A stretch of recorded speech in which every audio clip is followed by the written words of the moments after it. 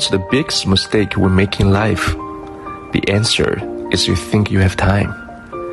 Time's free, but it's priceless. You can't keep it, but you can use it. And once it's lost, you can never get it back.